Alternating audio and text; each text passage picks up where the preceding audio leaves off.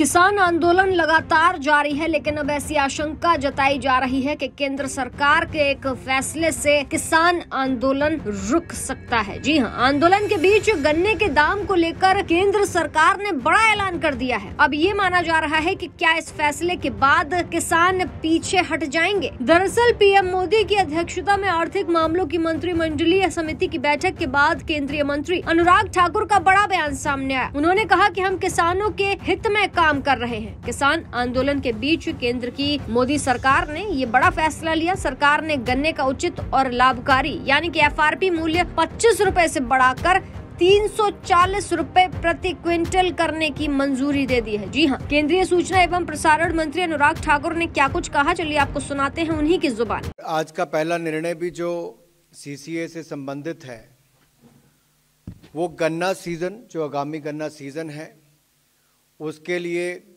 जो मूल्य तय करने का निर्णय किया गया है। एक अक्टूबर 2024 से लेकर 30 सितंबर 2025 की अवधि में चीनी मिलों द्वारा किसानों को गन्ने का उचित और लाभकारी मूल्य, यानी कि एफआरपी, निर्धारित किया गया है। बता दें कि चीनी मिलों के किसानों को गन्ने का उचित और लाभकारी मूल्य सुनिश्चित करने के लिए आगामी गन्ना सीज़न के लिए 1 अक्टूबर 2024 से 30 सितंबर 2025 की अवधि में मूल्य निर्धारित करने का निर्णय लिया गया है। बताया गया कि 2024 से 25 के लिए मूल्य तीन सौ प्रति क्विंटल तय करने का निर्णय लिया गया है, जो पिछले साल तीन सौ था। और क्या कुछ बोले? अनुराग ठाकुर, सुनिए।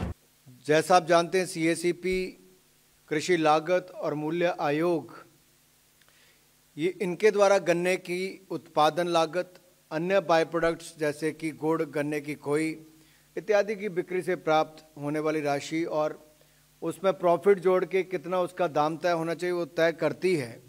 इन सब फैक्टर्स को ध्यान में रखते हैं। और वर्ष 2024-25 के लिए तीन सौ रुपये प्रति क्विंटल मूल्य निर्धारित किए जाने का निर्णय किया गया है। पिछले वर्ष यानी कि 2023-24 में F R F R P जो था, जो इसकी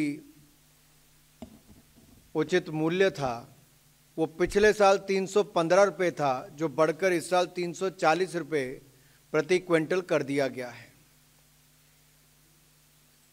ये तीन सौ चालीस रुपये प्रति क्विंटल का मूल्य चीनी की लगभग 10.25 परसेंट रिकवरी के रेट के लिए मिलेगा और प्रति 0.1 परसेंट एक्स्ट्रा रिकवरी पर तीन रुपये बत्तीस पैसे प्रति क्विंटल का अतिरिक्त प्रीमियम मिलेगा।